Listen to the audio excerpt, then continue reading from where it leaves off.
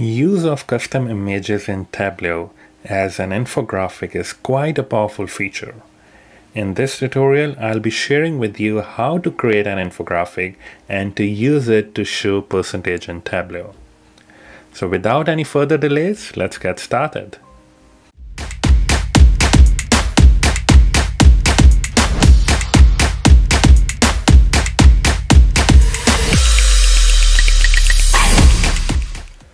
Welcome back, this is Gurpreet from DataViz Canvas and in today's tutorial we are going to learn how to use infographics to show percentage in Tableau. So for this we'll be creating our own custom images.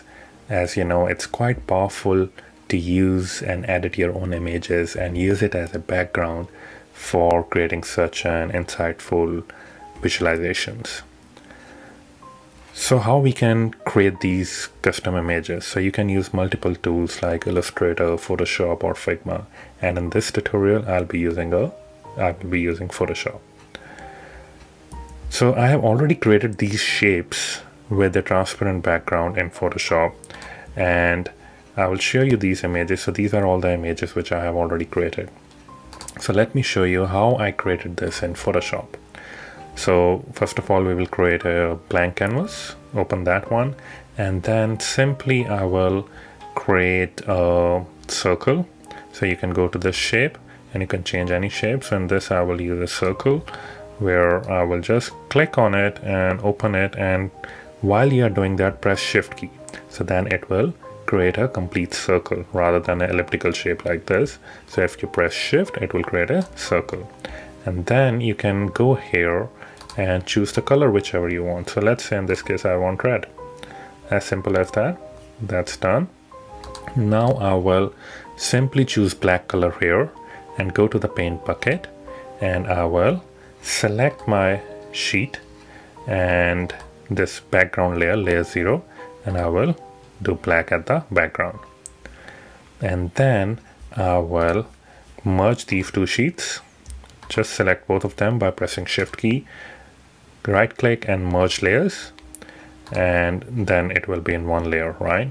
So then I will go to this magic wand tool click on that and I will go to this layer and click on this red circle and then simply delete this. And now we have our circle area transparent and everything else is black. So I will just do a bit of cropping uh, of the entire canvas because I don't want everything in here. I just want the circle so I will just bring crop all the entire layer and just to focus on the circle. So once that is done here you can see a nice circle. You can do a bit more editing and more 3d effect by just going to this layer and go to blending options and do a lot more in this. So in this case, I want, I will just do the drop shadow and you will see a drop shadow came here a little bit. So just click OK and then you can save this by simply going here to the file menu and click save as and you can save it to your computer. So that's one way of creating it. I will show you another way of creating it. So here I have downloaded this image from internet and let's say I want to just create the background for female or male infographic, right? So you can create this entirely by yourself in Illustrator as well, but I will show you this easy trip where you can use that existing image and you just select the rectangular tool and you just select that image and just copy it by control C in Windows and command C in Mac and create a new window and I will just create it and actually I will create a new bigger window here. Sorry that was really small and I will paste it here. Oops it didn't paste it correctly. Let's go back to this image and we select it here copy it. Go to new one and paste it here. So that female infographic is shown here right? So I just want everything else to be black and the inner section to be just transparent. So I will simply go to paint bucket, select that layer, do the black color on the outside and then go to magic wand and select the gray color area here delete it. And I don't want this background so I will delete that too. As you can just drag it and go to the bin icon it will be deleted. You do the same thing here and on the legs as well. So you can see here everything else is deleted and only the outside is painted black. So that's how you create an infographic images. And once this is created let's go back to our tableau dashboard. And here simply I will create a new worksheet and I am connected to sample superstore dataset. So I will simply create any segment. I will bring any segment and try to create a bar chart for a percentage. And in this case I am using profit ratio. So I will simply find a profit ratio here and bring it or you can use any other percentage as well whichever you want. So let me go and show you this one. So I am using a segment here and showing the profit ratio here. So we can do the same thing. So I have just selected a corporate filter segment here and the percentage is created in the form of bar chart. So what I will do I have created similar to these ones for home office consumer male percentage. So you can do the same thing here. And let me just check it here. So it's showing all the hidden fields. So here you can see all the hidden fields here. And we have the profit ratio. So let me show you how to create that profit ratio. So I will bring the segment here. And I will bring the profit ratio and I will change it to percentage by just going here. Click on percentage to two decimal places. And I will create a bar chart. And I want to bring the segment. I only want to use one segment. So I will let's say here use consumer. Click on that and press OK. And you can see the percentage 11% right? So I will simply swap the axes you can see 11.5% but here we want the percentage to be uh, from 100% bucket right?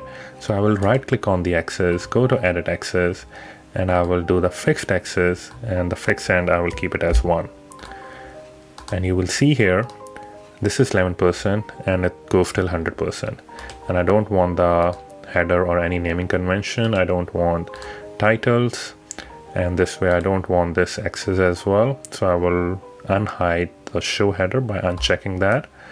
And I will remove the segment header as well. So you will simply see here 11.55 percentage and I will format it and I will make sure that all the row dividers and column dividers are not there and even the zero line and axis lines axis lines are not there and I will remove all of these ones. And grid lines make sure they are not there as well. So now it's nice and clean. So that way you have created a bar. And I will give it a name as a circle. All right so now we create a new dashboard here. And I will bring this circle as a floating worksheet. I will hide the title as simple as that and now I will bring an image which we have created right so I will just drag the image from the object and bring it here and I will choose that image the one which we have created so circle in this case I will bring the circle and click OK. So you will see here the circle is created. Now I will make sure that this worksheet, so let's let's drag it here, and this worksheet I will bring it on the top here. So ideally it's sitting behind it and I want to make sure it's aligned properly in the 100% window. So you can just make sure it's coming like this and drag the top portion just at the brim of the circle so you can make sure once it's 100% it covers the entire circle so as you can see here it's 11.55% and this is the bucket. You can do the same thing by creating multiple um, multiple bar charts for multiple segments. So I have created multiple bar segments here for home office and consumer. So you can do the same thing.